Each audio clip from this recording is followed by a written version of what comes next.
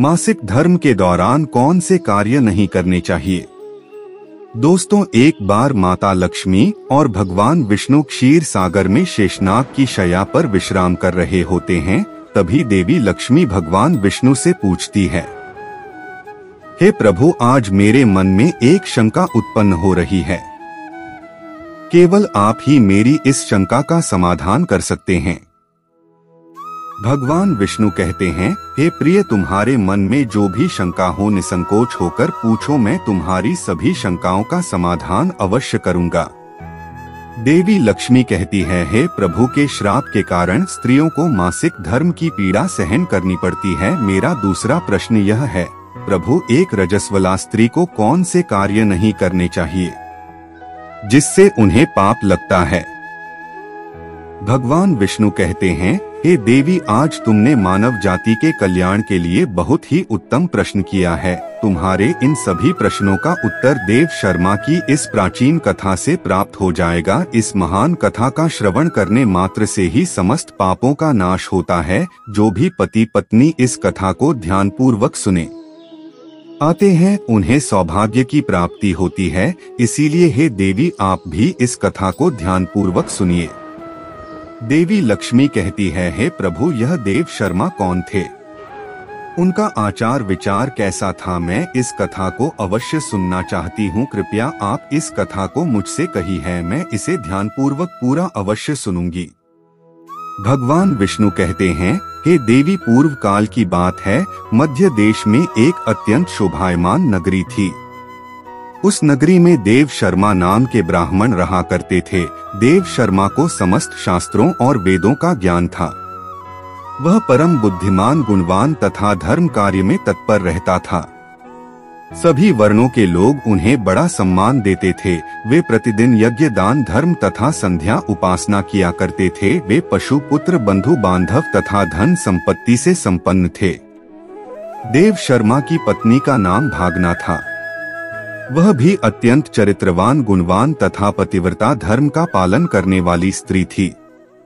फिर एक दिन देव शर्मा ने अपने घर पर सत्यनारायण की पूजा रखी और सभी ब्राह्मणों को स्वयं जाकर निमंत्रण दिया। नगर में निवास करने वाले समस्त मनुष्यों को उसने पूजा के लिए तथा भोजन के लिए बुलाया। फिर पूजा के दिन समस्त ब्राह्मण उसके घर पर पधारे। देव शर्मा ने सभी ब्राह्मणों का विधि पूर्वक पूजन किया और उनका आदर सत्कार किया, फिर उसने सभी ब्राह्मणों को घर के अंदर बुलाया और सुंदर आसन देकर उन्हें बिठाकर मिष्टान्न भोजन कराया। ब्राह्मणों को भोजन कराने के बाद उसने भगवान का स्मरण करते हुए सभी को वस्त्र आदि का दान करके विदा किया। वे सभी ब्राह्मण देव शर्मा को आशीर्वाद देकर वहाँ से चले गए।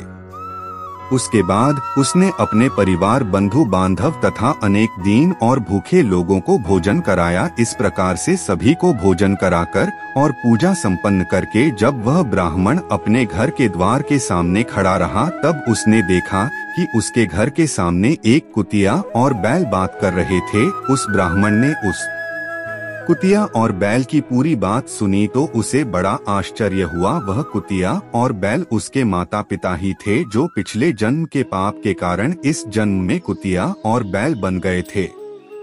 तब वह ब्राह्मण मन ही मन सोचने लगा, ये दोनों तो साक्षात मेरे माता पिता ही है, जो मेरे घर पर पशु बनकर आए हैं। किस कारण से इन दोनों को प्राणियों का शरीर प्राप्त हुआ? अब के उद्धार के लिए मैं क्या करूँ? इस प्रकार विचार करते हुए उस ब्राह्मण को रात भर नींद नहीं आई और वह रात भर भगवान का स्मरण करते हुए सोच विचार करने लगा। उसने सोचा, मेरे माता पिता की मुक्ति का उपाय केवल मुनि वशिष्ठ जी ही बता सकते हैं। इसीलिए सुबह होते ही देव शर्मा स्नान आदि कार्य संपन्न करके मुनि वशिष्ठ जी के आश्रम पर पहुँच गया। आश्रम पर आते ही मुनि वशिष्ठ जी ने देव शर्मा का स्वागत किया। वशिष्ठ जी कहने लगे, हे ब्राह्मण श्रेष्ठ, आज किस कारण से आपका हमारे आश्रम में आगमन हुआ है?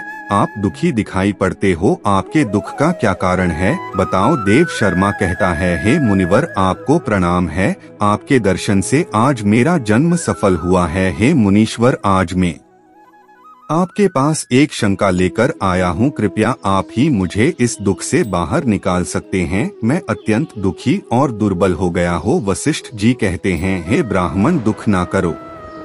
तुम्हारी जो भी शंका हो, निसंकोच होकर पूछो, मैं अवश्य तुम्हारी शंका का समाधान करूँगा।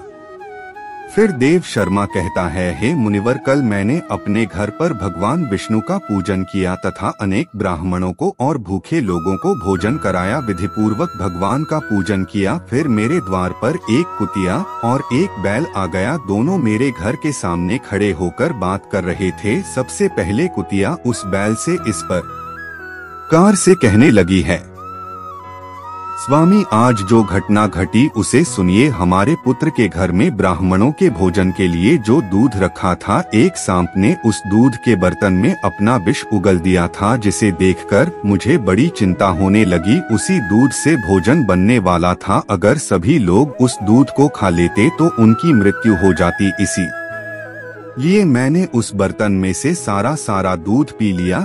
जब बहू की दृष्टि मुझ पर पड़ी तो उसने मुझे खूब पीटा, जिससे मेरा अंग भंग हो गया। मुझे बहुत पीड़ा हो रही है। इसी कारण से मैं लड़खड़ाते हुए चल रही हो। मुझे यह पीड़ा सहन नहीं हो रही है। कुतिया की बात सुनकर वह बैल बहुत दुखी हुआ। और वह खुद का वृतांत सुनाने लगा, है प्रिय, अब मैं तुम्हें मेरे दुख का कारण सुनाता हूँ। मैं पूर्व जन्म में इस ब्राह्मण का पिता था। आज इस ब्राह्मण ने सभी लोगों को भोजन कराया, किंतु इसने मेरे सामने घास तक नहीं डाली और न ही मुझे जल पिलाया। इसी कारण से मैं बहुत दुखी हो गया हो, फिर देव शर्मा कहने लगा, इस प्रकार से अपने माता पिता को कुतिया और बैल के रूप में ऐसा बोलते हुए देखकर मुझे बड़ा दुख हो रहा है, मुझे रात भर नींद नहीं आ रही है, हर क्षण मुझे चिंता सता रही है, मैंने कभी कोई पाप नहीं किया है, हमेशा धर्म के कार्य किए हैं। फिर भी मेरे माता पिता को ऐसे कष्ट झेलने पड़ रहे हैं। इसी कारण से आज मैं आपके पास आया हो। कृपया आप अपनी योग शक्ति से पता करके मुझे बताइए किस कारण से मेरे माता पिता की ऐसी दुर्दशा हुई है। और उनकी मुक्ति के लिए मुझे कौन सा कम करना चाहिए? फिर गुरु वशिष्ठ ध्यान लगाते हैं और उस ब्राह्मण के माता पर ताकि पूर्व जन्म के कर्मों को देखते हैं और देव शर्मा से कहने लगते हैं, हे ब्राह्मण, तुम्हारे माता पिता ने पिछले जन्म में घोर पाप किया है, उसी पाप के कारण आज उनकी ऐसी दुर्दशा हुई है। देव शर्मा कहता है, हे गुरुदेव, किस पाप के कारण मेरे माता पिता की दुर्दशा हुई है? कृपया विस्तार से बताइए, मैं जानना चाहता हूँ। फिर ऋषि वशिष्ठ कहते हैं ब्राह्मण देवता, तुम ध्यान से सुनो ये बैल जो तुम्हारे पिता है। यह पिछले जन्म में कुंडी नगर के श्रेष्ठ ब्राह्मण रहे हैं। इन्होंने एक दिन एकादशी का व्रत करके भोजन किया था। एकादशी के व्रत के दिन इसने दान धर्म भी नहीं किया। इसने द्वार पर आई गायों को कभी भोजन नहीं खिलाया। इसने अपने पितरों का श्राद्ध भी विधि पूर्वक नहीं किया। तुम्हारे पिता ने पिछले जन्म में मासिक धर्म के दौरान ही तुम्हारी माता के साथ संबंध बनाया था और इसी पाप के कारण इसे इस जन्म में बैल का रूप प्राप्त हुआ है। अब तुम्हारी माता के बारे में सुनो। तुम्हारी माता ने रजस्वला होते हुए भी भोजन बनाया। मासिक धर्म के दौरान ही इसने भगवान की पूजा की। तुलसी को जल चढ़ाया। रजस्वला होते हुए भी इसने भगवान को भोग लगाया। इसी कारण से इसे महापाप लगा है।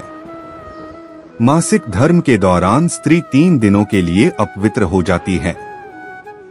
मासिक धर्म के दौरान स्त्री को पूजा पाठ नहीं करना चाहिए। स्त्री को इन तीन दिनों में अपने बाल भी नहीं धोने चाहिए। इससे पति की आयु कम होती है।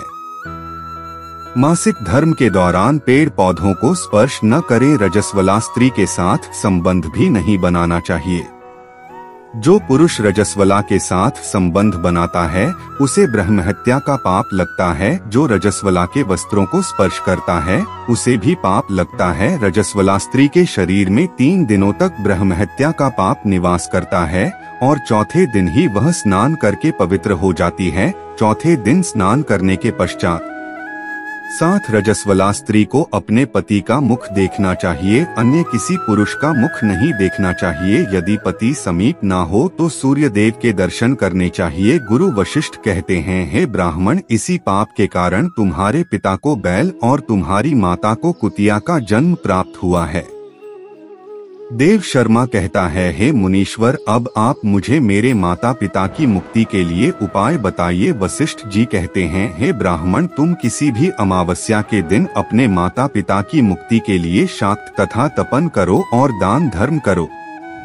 गाय की सेवा करो और गौमाता को मिष्ठान्न खिलाओ और अपने माता पिता की मुक्ति के लिए भगवान से प्रार्थना करो। फिर ब्राह्मण वही करता है और फिर उसके माता पिता को समस्त पापों से मुक्ति मिलती है।